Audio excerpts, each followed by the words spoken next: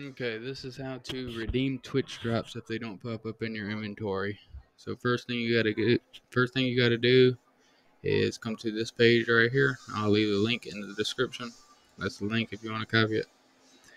So first thing you do, sign in Steam, sign in Twitch, and then you're gonna want to go to Twitch inventory drops. See these two right here, Twitch Rivals Thompson, and this little hoodie. We're gonna try to redeem this right now. So I'll show you. I do not have it in my Steam. So let's see here. Oh, this is.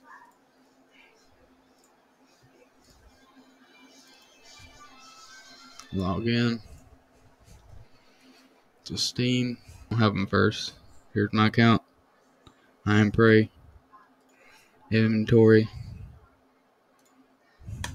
I'll go slow just so y'all can see I don't have it. It's gonna pop up right here next to the mask.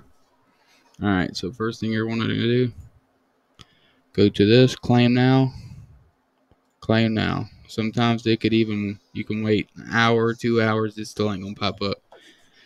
So what you need to do is you go to this link, go to check missing drops.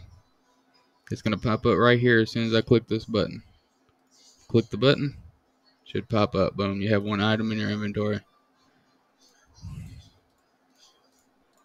Here's a hoodie, or no, it was this hoodie, and then there's a Thompson I just redeemed from here. And I'll leave this link in the description.